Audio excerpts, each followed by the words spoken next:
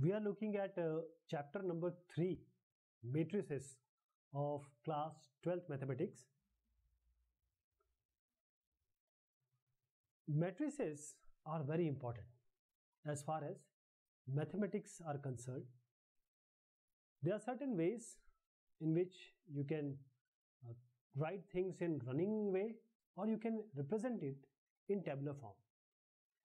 Whether you want to solve the linear equations whether you want to employ it as a spreadsheet, the spreadsheet programs you see in your personal computer, you want some budgeting to be done, sales projection, cost estimation, or analysis of result, say of an experiment. So all these operations can be easily represented by matrices. So matrices you will find in all, in all your mathematics, wherever, in physics also. So matrices and especially today's burning branch which is the cryptology. And I'm just saying that genetics, economics, sociology, modern psychology and industrial management, everywhere you will find these matrices. So we'll talk about the matrix and matrix algebra in this chapter. So matrix is the singular and matrices is the plural form of matrix. What is a matrix? Let us uh, take a story. Now, Radha has 15 notebooks. We can express it like this 15 with an understanding that this square bracket or the number inside this square bracket is the number of notebooks that Radha has. Now we have to express that Radha has got some you know pens also. So 15 books and 6 pens. So we have employed 15 for her books. Now let us change it and make it 15 books and 6 pens. Right? Now Fauzia also comes and we have to enter her data also. She says that I have uh, 10 notebooks and 2 pens. Simran said I have 13 books and 5 pens. So why not to just extend this?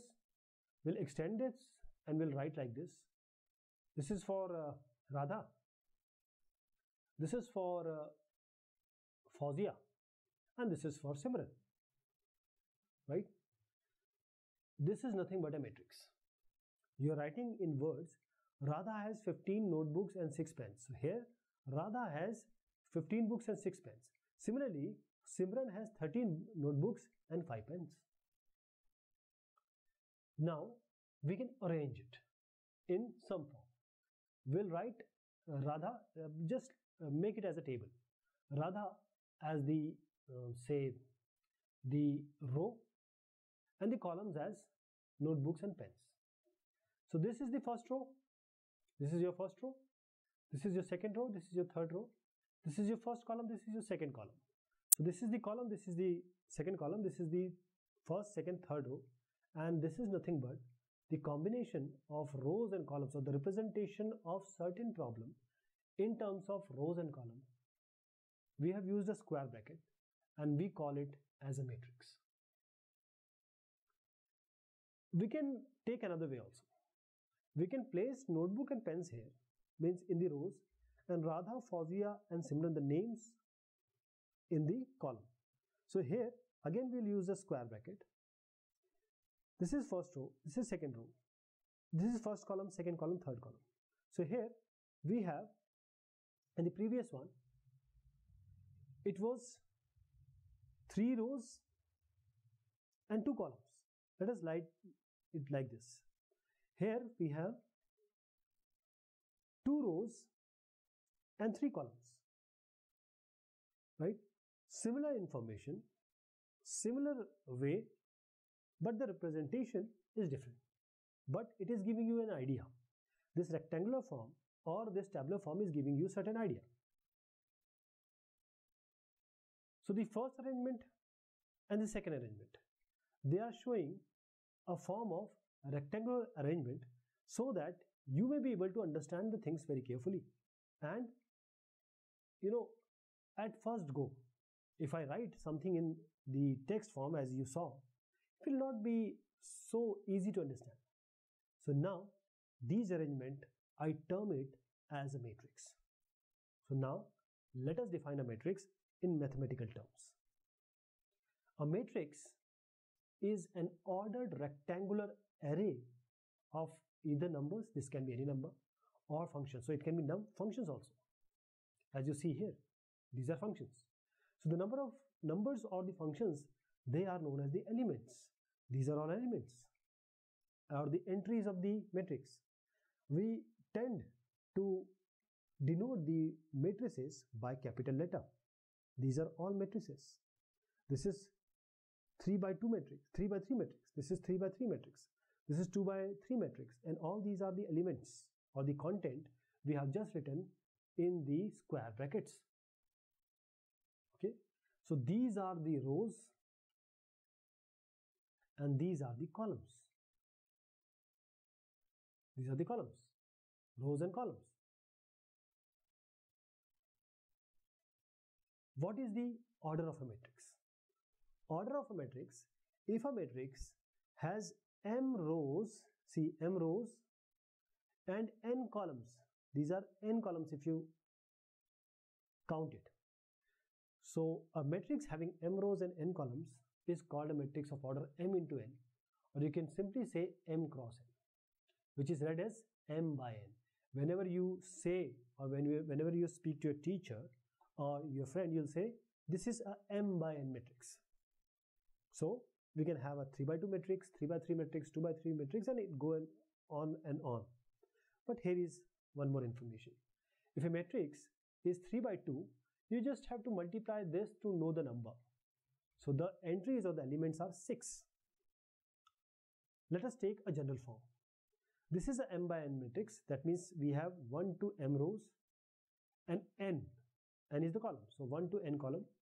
This is 1 to n. This is 1 to m. This is represented in rectangular array. So we can write it as a which is equal to aij. i is from 1 to m. j is from 1 to n. i is from 1 to m. j is from 1 to n here. i uh, 1 to m. j 1 to n and this ij belongs to natural number. So we'll not start with 0. We say 1, 2, 3 till n, 1, 2, 3 till m. And this is the representation. So whenever, whenever we are writing about matrix, we'll write this only. This is this will be very cumbersome for us. We'll just represent it this. So the ith row is consisting of a i. See all these are i, but 1 to m, n are changing. And the jth row, jth column, we have 1 to n m here, but j is there and j is constant for all this. So any aij is ith row or j column, jth column. It will find in the intersection of the row and column. And we'll also call it as i or j, i comma jth element of a. So the element, the number of elements will be nothing but m into n, m into n. So we follow the notation a equal to aij m into n in the rest of the discussion and we'll consider certain type of uh, matrices. So when we want to represent any point x, y in a plane, if this is your plane, you want to represent this with point with x, y. You can represent it like this, x, y or like this in row form or column form.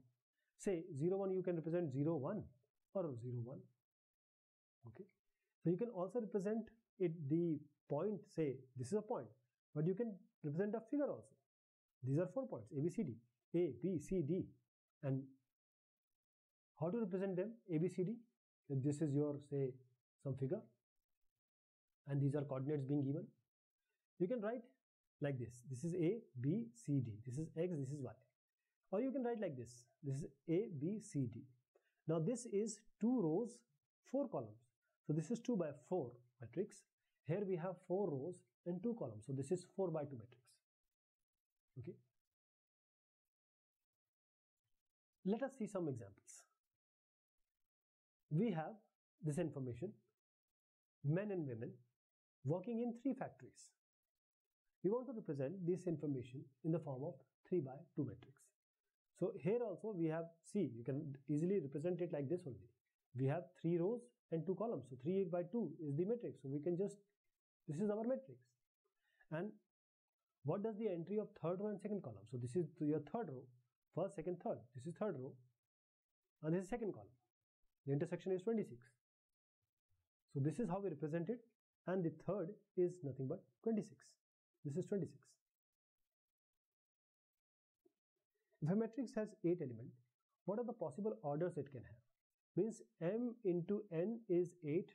You have to find m and n.